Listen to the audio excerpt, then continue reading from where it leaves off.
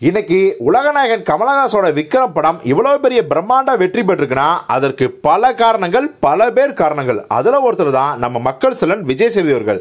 ஆனா இப்ப இந்த படத்துல கமலுக்கு சரிக்கு சமமா நேருக்கு நேரா நின்று ஃபைட் பண்ணியிருக்காரு. அந்த அளவுக்கு ஒரு ஈக்குவலான கேரக்டரை ஷேர் பண்ணியிருக்காரு ஸ்க்ரீனில் ஆனால் இவருடைய குருநாதர் சீன ராமசாமி வந்து ஒரு முக்கியமான விஷயத்தை சொல்லியிருக்காரு. என்னன்னா ஆக்சுவலி பதினோரு வருஷத்துக்கு முன்னாடி அதாவது ரெண்டாயிரத்தி பத்தாவது வருஷம் டிசம்பர் இருபத்தி மூணாம் தேதி என்னுடைய தென்மேற்கு பருவக்காற்று படம் ரிலீஸு அதுதான் விஜய் சேதுபதி ஹீரோவை நடித்த முதல் படம். ஆனால் அதே தேதியில் தான் கமலோட பிரம்மாண்ட காமெடி படமான மன்மத நம்பூர் ரிலீஸு நானும் விஜய் சேதுபதியும் பைக்கில் ஒவ்வொரு தியேட்டரை போய் பார்க்குறோம். உதயம் தேட்டரில் பார்க்குறோம் கமலா தேட்டரில் பார்க்குறோம்.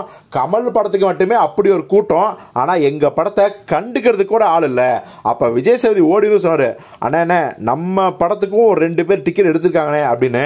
அப்போ நான் பார்த்தேன் கமலோட கட் அவுட் வந்து வான் உயர அப்படி அண்ணாந்து பார்க்குற அளவுக்கு இருந்துச்சு. ஆனால் அதுக்கு கீழே விஜய் சேதுபதி தன்னுடைய படத்துக்கு ரெண்டு டிக்கெட் கிடைச்சிருக்கே அப்படின்னு சந்தோஷப்பட்ட அப்படி ஆனால் இந்த பதினோரு வருஷத்தில் கமலோட அந்த படத்தில் அவருக்கு நிகராக வில்லத்தனம் பண்ணி கமலோட ஸ்க்ரீனை வந்து ஷேர் பண்ணியிருக்காரு விஜய் சேதுபதி. அப்படின்னா விஜய் சேதுபதியோட விஸ்வரூப வளர்ச்சியை பற்றி நிச்சயமாக நாம் எல்லாருமே பெருமைப்பட்டுக்கலாம். அந்த அளவுக்கு கடின உழைப்பாளி தான் விஜய் சேதுபதி. இன்னும் பல பல சாதனைகளை செஞ்சு மிக மிக பெரிய உயரத்துக்கு போவார். என்னுடைய மக்கள் செல்வன் அப்படின்னு சொல்லி சீனராமசாமி வந்து ரொம்ப பெருமையாக சொல்லியிருக்காரு.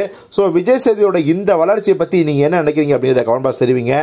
இந்த செய்தி உங்களுக்கு பிடிச்சதுனா லைக் பண்ணுங்கள் உங்கள் ஃப்ரெண்ட்ஸுக்கு ஷேர் பண்ணுங்கள் இதுபோன்று சுவையான தமிழ் சினிமா செய்திகளுக்கு மீடியா தர்பார் சேனலை சப்ஸ்கிரைப் பண்ணுங்கள் நன்றி வணக்கம்.